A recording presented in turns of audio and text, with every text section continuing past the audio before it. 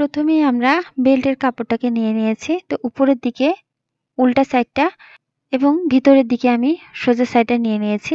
এখন বেল্টের দুই সাইড আমি অ্যাটাচ করে দেব। প্রথমে এক সাইড অ্যাটাচ করে দেব এবং একইভাবে অপোজিট সাইডটাও অ্যাটাচ করে দেব।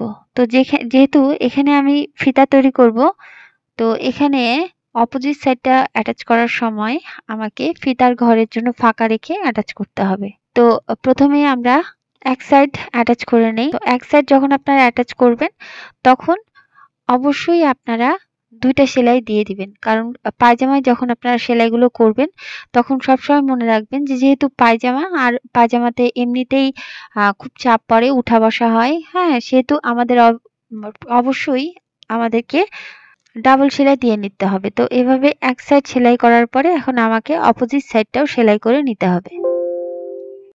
সো এখানে আমি ফিতা ঘরের জন্য ফাঁকা রেখে বাকিটা সেলাই করে দিব। ঠিক একইভাবে এখানেও আমি ডাবল সেলাই দিয়ে দিব। তো প্রথমে আমি যেভাবে বলেছিলাম, সেভাবেই অপোজিট সাইডটাও আমি একইভাবে সেলাই করে নিয়েছি। আপনারা ঠিক একইভাবে সেলাই করে নেবেন। তো এভাবে করে সেলাই করার পরে এখন আমাদের ফিতার ঘরটার জন্য এখানে হেম সেলাই দিতে হবে। তো এখানে এভাবে করে বাড়তি অংশগুলো আমাকে ধরে নিতে হবে এবং ফোল্ড করে দিতে হবে। তো প্রথমে আমি বলেছি যে ফোল্ড করে নিতে হবে। তো এভাবে করে আমি ফোল্ড করে নিলাম এবং এখানেও আমি হ্যাম সেলাই দিয়ে নেব। এভাবে করে লক করে দিলে তাহলে আপনাদের ফিতার ঘরটা সুন্দর হয়ে অ্যাটাচ হয়ে থাকবে এবং কাপড়গুলো খুলে খুলে বের হয়ে আসবে না। আপনারা ঠিক একই নিয়ম ফলো করে সেলাই করে দিবেন। তো আলহামদুলিল্লাহ, আমার ফিতার ঘরটা হেম সেলাই দেওয়া কমপ্লিট এখন আমি যেটা করব, হাতের নখের সাহায্যে এই সেলাই মার্জিন যে ধরে নিয়েছিলাম, সেই সেলাই মার্জিনের অংশটা আমরা হচ্ছে ফোল্ড করে দিব। আপনারা ঠিক একইভাবে ফোল্ড করে দিবেন। এটা যেহেতু একটা সুতি কাপড়, একদম পিওর সুতি, তো হাতের নখের সাহায্যে এভাবে করে ফোল্ড করে দিলেই সুন্দর হয়ে বসে থাকবে। এখানে যে দেখতে পাচ্ছেন এক্সট্রা যে অংশটা, সেটা আমি মেলে ধরেছি এবং মেলে ধরে এভাবে করে ফোল্ড করে নিয়েছি। তা আপনারা ঠিক একইভাবে ফোল্ড করে নেবেন, তাহলে জিনিসটা অনেক বেশি পারফেক্ট হবে, একদিকে গুজে থাকবে না। এবং চারদিকে ছড়িয়ে যাবে, সুন্দরভাবে বসে থাকবে জিনিসটা। এখন আমি ফিতার ঘরটাকে সুন্দর করে ফোল্ড করে দিচ্ছি এবং ফোল্ড করে দিয়ে সেলাই করে নিব। তো সুন্দর করে সমান করে আমি চারদিকে সেলাই করে নিব। তো আপনারা যারা নতুন, তারা মার্ক করে দিয়ে সেলাই করে নিতে পারেন। তাহলে সেলাইটা সমানভাবে সুন্দর করে চারদিকে একদম সমান হবে।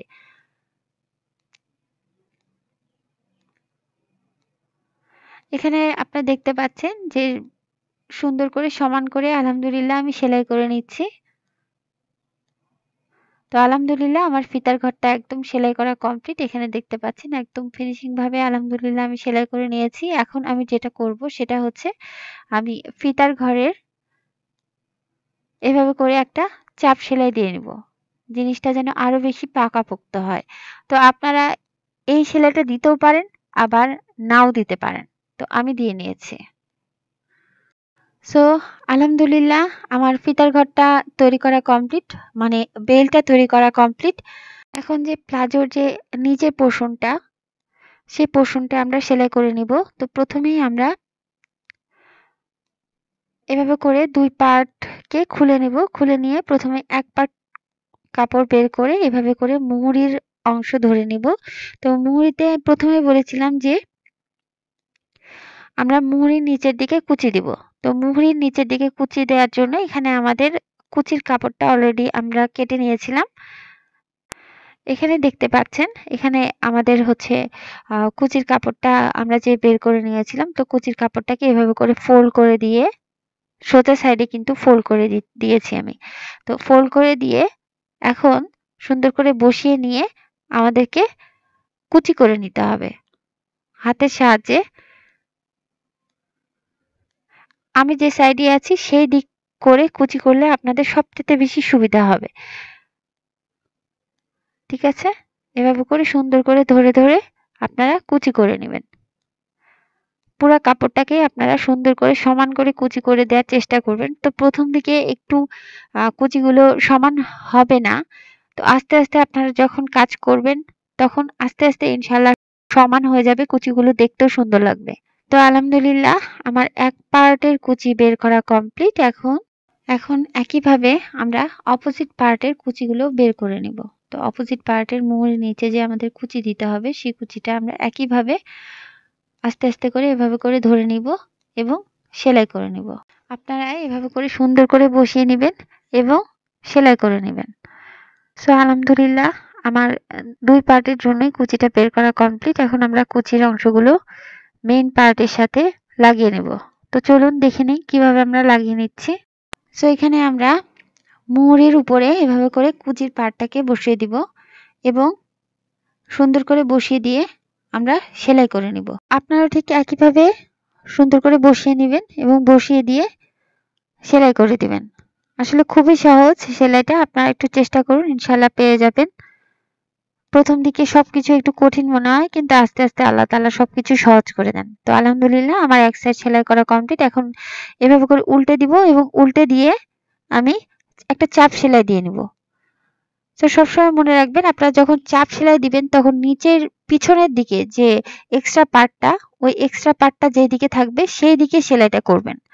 এখানে আমি সুন্দর করে এক্সট্রা পার্টটা উপরের দিকে ধরে আমি সেলাই করে দিচ্ছি। তো এইভাবে করে চাপ সেলাই দিলে আপনার যে কুচির অংশটা সুন্দর করে বসে যাবে। তো এভাবে করে একটা চাপ সেলাই দেওয়ার পরে এখানে দুই সুদ উপরের দিকে, দুই সুদ তিন সুদ উপরের দিকে আমি আরেকটা সেলাই করে দিব।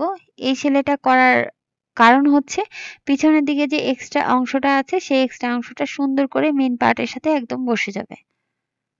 তো আপনারা ঠিক একইভাবে সুন্দর করে সেলাই করে দিবেন। সো আলহামদুলিল্লাহ, আমার এক পার সেলাই করা কমপ্লিট আমি এক পার যেভাবে সেলাই করে দিয়েছি, ঠিক একইভাবে আমি অপোজিট পার্টটাও সেলাই করে নিব।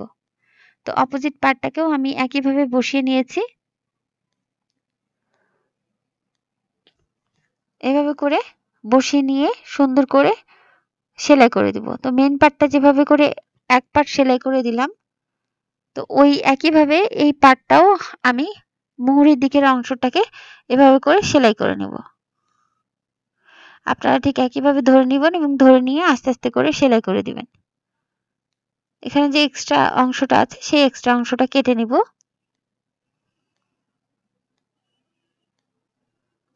এখন একইভাবে আমরা ঘুরিয়ে দিব এবং ঘুরিয়ে দিয়ে ওই একইভাবে একটা চাপ সেলাই দিয়ে নিব।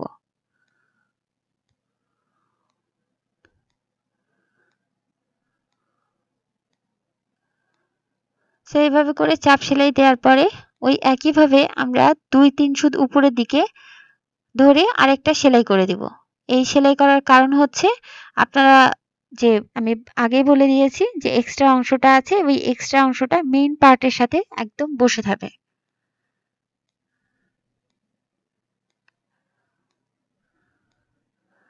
সো আলহামদুলিল্লাহ, আমার দুই পার্টে সেলাই করা কমপ্লিট এখন আমরা যেটা করব সেটা হচ্ছে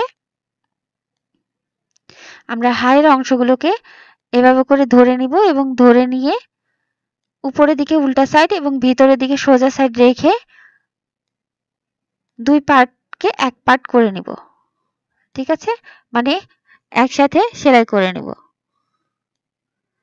এখানে দেখতে পাচ্ছেন, আমি খুব সুন্দর করে ধরে নিয়েছি। এখানে উপরের দিকে উল্টা সাইড এবং ভিতরের দিকে সোজা সাইড এভাবে করে আমি অপোজিট পাশ ঘুরিয়ে আরেকটা সেলাই করে নেব। কারণ একটাই বলে দিয়েছিলাম যে পায়জামাতে অবভিয়াসলি আপনাদেরকে কিন্তু দুইটা সেলাই দিয়ে নিতে হবে। তো আলহামদুলিল্লাহ, আমার এক সাইডের হাই সেলাই করা কমপ্লিট এবং অপোজিট সাইডের হাইও আমাকে সেলাই করতে হবে। সেটা আপনারা দেখতেই পাচ্ছেন, আমরা কিন্তু নিচের দিক থেকে সেলাইটা শুরু করছি, উপরের দিক থেকে না। এভাবে করে সেলাই করলে তাহলে জিনিসটা আপনাদের খুব সুন্দর করে দুই দিকেই সমান হয়ে থাকবে। এখানে দেখতে পাচ্ছেন আমি নিচের দিক থেকে হাইটা সেলাই করছি এবং উপরের দিকে উঠিয়ে নিয়ে আসলাম সেলাই করে। ঠিক একইভাবে আমি হচ্ছে ঘুরিয়ে আরেকটা সেলাই করে দিব। আপনারা পায়জামার কাপড়ে সবসময় দুইটা সেলাই করে দিবেন। তো আলহামদুলিল্লাহ, আমার সেলাই করা কমপ্লিট। এখন আমরা মুহুরিটা জয়েন করে নেব। এটা যেহেতু প্লাজো তৈরি করছি, তো মুহুরির দিকে আমরা হচ্ছে দশ ইঞ্চি নিব। যেহেতু আমার মুহুরিটা বিশ ইঞ্চি, তো বিশ ইঞ্চিকে অর্ধেক করলে হয় দশ ইঞ্চি। তো এখানে দশ ইঞ্চিতে মার্ক করে দিয়ে সুন্দর করে আমরা সেলাই করে নিব। তো এই সেলাইটা যখন করবেন, তখন খুব খেয়াল করে করবেন। কারণ একটা টিপস বলে দিচ্ছি, সেটা হচ্ছে যখন আপনার মুহুরির দিকে হাইয়ের উপরের দিকে সেলাই করা শুরু করবেন, তখন সুন্দর করে আপনারা টেনে টেনে সেলাই করবেন। যখন আপনারা টেনে টেনে সেলাই করবেন, তখন একটা জিনিস হবে, সেটা হচ্ছে আপনাদের যে প্লাজো বা কুচি সালোয়ার, সেগুলোতে কিন্তু যে উপরের দিকে টেনে ধরে, সেই টেনে ধরা জিনিসটা থাকবে না। ঠিক আছে? এভাবে করে সামনের দিক থেকেও টানবেন এবং পিছনের দিক থেকেও আমি যেভাবে টানছি, ঠিক একইভাবে আপনারা টেনে টেনে সেলাই করে নেবেন। তো এভাবে করে টেনে সেলাই করলে আমি আবারও বলে দিচ্ছি, আপনাদের প্লাজোটা ওই যে টেনে ধরে, টেনে ধরা একটা সমস্যা থাকে, সেই সমস্যাটা ইনশাল্লাহ হবে না, ঠিক আছে? আরেকটা টিপস আছে যে টিপসটা অ্যাপ্লাই করলে আপনাদের প্লাজোটা ইনশাল্লাহ টেনে ধরবে না। সো এখানে একটা টিপস বললাম, তো ঠিকই একইভাবে আপনারা অপোজিট সাইডের মুহুরিটা মেজার করে নেবেন। আপনারা যতটুকু প্লাজোতে আপনাদের মুহুরিটা দিতে চান। তো এখানে যেহেতু আমি বিশ ইঞ্চি দিয়েছি, তো অপোজিট সাইডেও ঠিক একইভাবে অর্ধেক করলে বিশ ইঞ্চিকে হয় দশ ইঞ্চি। তো এখানে আমরা দশ ইঞ্চিতে মেজার করে এবং একইভাবে আমরা সেলাই করে দিব। তো এখানে কিন্তু আপনাদের ডাবল সেলাই দিতে হবে এবং ওই একইভাবে ধরে ধরে টেনে টেনে সেলাই করে নিতে হবে। সো আলহামদুলিল্লাহ আমার সেলাই করা কমপ্লিট এবং ওই একইভাবে ঘুরিয়ে আমি আরেকটা সেলাই করে নিব। এটা অ্যাকচুয়ালি আমি অফ ক্যামেরাতে সেলাই করে নিয়েছি, আপনারা ঠিক একইভাবে সেলাই করে নেবেন। এখন এই বেল্টের অংশের সাথে আমাদের নিচের যে কুচির অংশটা বা নিচের যে পার্টটা সেই পার্টটা আমাদের অ্যাডজাস্ট করে নিতে হবে। এখন যেহেতু নিচের পার্টে আমি কুচি দেইনি আগে আগে, ঠিক আছে? তো আপনারা কুচি আপনারা দুইভাবে দিতে পারেন। একটা হচ্ছে আপনারা আগে কুচি করে নিতে পারেন, আরেকটা হচ্ছে আপনারা বেল্টের সাথেই কুচি করে নিতে পারেন। তো আজকে আমি যেটা দেখাবো সেটা হচ্ছে বেল্টের সাথেই আমি কুচি করে নিব। তো আপনারা যারা নতুন, তারা এই টিপসটাও অ্যাপ্লাই করতে পারেন। তো চলুন দেখে নেই কীভাবে আমরা এটা করছি। এখন আমাদের বেল্টটা আমাদের অ্যাকচুয়ালি হচ্ছে সাড়ে ছয় ইঞ্চি। এখানে দেখতে পাচ্ছেন আমাদের বেল্ট রাখতে হবে মিনিমাম সাড়ে ছয় ইঞ্চি। ঠিক আছে?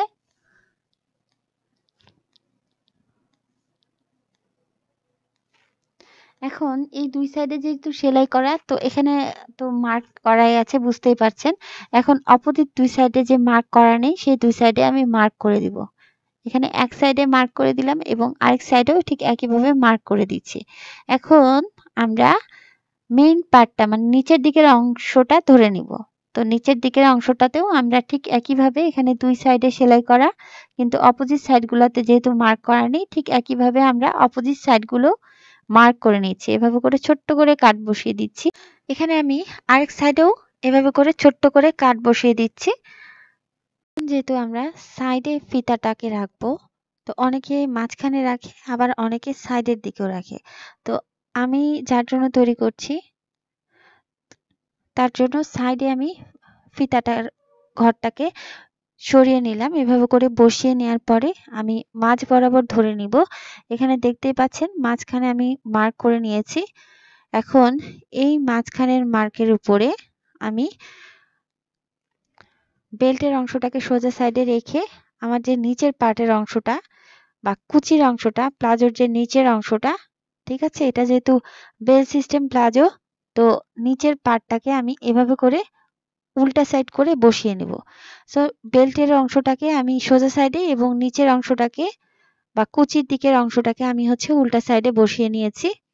এভাবে করে বসিয়ে নিয়ে হেমের ভিতর ঢুকিয়ে দিয়ে আমাদের কুচি করে নিতে হবে। তো কুচিটা আমরা হচ্ছে কীভাবে করব বা কতটুকু করব সেটা হচ্ছে আমি পয়েন্ট আউট করে নিয়েছিলাম।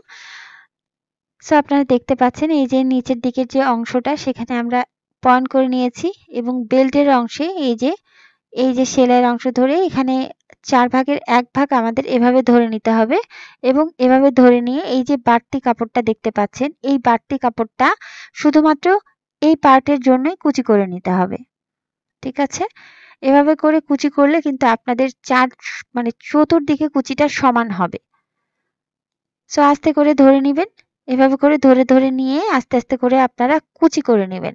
সো আপনারা যারা নতুন একদম সেলাই কাজে নতুন, বলব যে এই টিপসটা খুব বেশি ফ্রুটফুল হবে আপনাদের জন্য।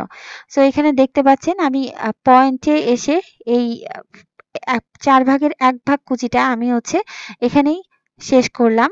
এখন ঠিক একইভাবে আমাদেরকে আরেক পার্টের কুচি বের করে নিতে হবে। এই যে দেখতে পাচ্ছেন, এই যে পয়েন্টে পয়েন্টে আমি মিলিয়ে নিব এবং বাড়তি যে কাপড়টা, এই বাড়তি অংশটা শুধুমাত্র এই অংশের জন্যই আমরা কুচি করে নিব। এভাবে করে ধরে নিব, ধরে ধরে নিয়ে আমাদেরকে কুচি করে নিতে হবে। আপনারা ঠিক একই নিয়ম ফলো করে কুচি করলে আপনাদের যাদের কুচি করতে সমস্যা মানে হচ্ছে কীভাবে কুচি করবেন, সমান হবে কীভাবে, বলব যে এই নিয়ম ফলো করে কুচি করলে খুব সুন্দরভাবে আপনাদের মিলে যাবে কুচিটা। এখন দেখতে পাচ্ছেন আমরা আরেক পার্ট কুচি করে নিব। তো এখানে ঠিক একইভাবে এই যে পয়েন্টের সাথে এই পয়েন্ট মিলিয়ে দিব এবং এই যে এখানে কুচির জন্য যে বাড়তি কাপড়টা আছে, সেই বাড়তি কাপড়টাকে আমরা এইভাবে করে ধরে কুচি করে দিব। এবং ঠিক একইভাবে পয়েন্টে পয়েন্টে আমাদের মিলিয়ে দিতে হবে। এভাবে করে কুচি করাটা আসলেই খুব সহজ হয়ে যাবে। যারা একদম সেলাই কাজে নতুন, এই নিয়মটা ফলো করলে বা এই নিয়মটা ভালো লাগলে আপনারা এভাবে করেও কুচি করে নিতে পারেন। এই যে, এই পয়েন্টের সাথে আমি এই পয়েন্ট মিলিয়ে দিলাম এবং ঠিক একইভাবে এই যে এক্সট্রা যে আরেকটা অংশ আছে, সেই অংশটাও আমি একইভাবে কুচি করে নিব।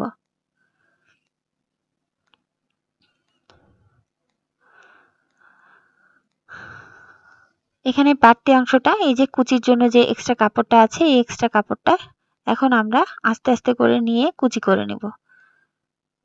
ছোট ছোট করে নিয়ে কুচি করে নিব, যেহেতু এটা দুই হাত বহরের।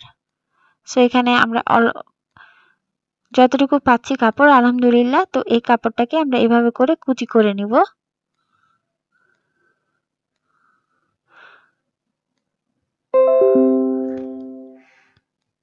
সো আলহামদুলিল্লাহ, আমার কুচিটা করা কমপ্লিট আশা রাখছি আপনারা বুঝতে পেরেছেন অ্যাকচুয়ালি কীভাবে কুচি করতে হবে। তো সুন্দর করে নিচের পার্টের সাথে আমি বেল্টের পার্টটা মিলিয়ে দিলাম। সো এটা একটা নিয়ম। আরেকটা নিয়ম আছে, যেখানে আপনারা আগে থেকেই কুচি করে মেন পার্টের সাথে বসিয়ে নেবেন। তো যার যেটা নিয়ম ভালো লাগে, আপনারা সেই নিয়মটাই ফলো করতে পারেন। এখন আমরা একটা চাপ সেলাই দিয়ে নিব। সো এখন আমি প্লাজোটাকে সোজা করে নিব। সোজা সাইডে এনে আমি এখন একটা চাপ সেলাই বসিয়ে দিব। তো এখানে দেখতে পাচ্ছেন, এখানে আমি এই বরাবর একটা চাপ সেলাই বসিয়ে দিব। এখন দেখতে পাচ্ছেন এই যে উপরের দিকে এক্সট্রা যে অংশটা আছে, এই এক্সট্রা অংশটা আমরা উপরের দিকে রেখে আমরা এখন চাপ সেলাইটা বসিয়ে দিব।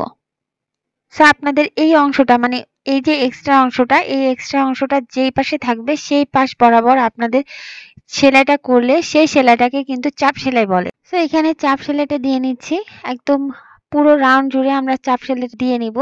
এভাবে করে চাপ সেলাইটা দিলে আপনাদের যেটা হবে, পায়জামাটা অনেক বেশি শক্তপোক্ত হবে এবং সহজেই ছিঁড়ে যাবে না। সো আলহামদুলিল্লাহ আমার চাপ সেলাইটা দেয়া কমপ্লিট সো আলহামদুলিল্লাহ আমি সেলাইটা কমপ্লিট করে নিয়েছি। প্লাজোটা তৈরি করে নিয়েছি। এটা অ্যাকচুয়ালি নিচে কুচি দিয়ে বেল্ট সিস্টেম এবং ফিতা সিস্টেম প্লাজো সো এখানে আপনারা যারা নতুন, একদমই নতুন সেলাই কাজে ফিতা তৈরি করতে পারেন না। তো অলরেডি আমি আমার চ্যানেলে ফিতা তৈরির ভিডিওটা আপলোড করে দিয়েছি। আপনারা যারা নতুন, তারা দেখে নিতে পারেন। আমি ডিসক্রিপশন বক্সে অলরেডি এর লিঙ্ক দিয়ে দিয়েছি। সো ভিডিওটা ভালো লাগলে অবভিয়াসলি আমার চ্যানেলটা সাবস্ক্রাইব করবেন এবং পাশে থাকা বেল লাইক বাটনে ক্লিক করে অল ক্লিক করে দিবেন। এখানে আমি ডিটেলিংয়ে আপনাদের বুঝিয়ে দেওয়ার চেষ্টা করেছি। ভালো থাকুন, আল্লাহ আমাদের সবাইকে ভালো রাখুন। আসসালামু আলাইকুম রহমতুল্লাহ।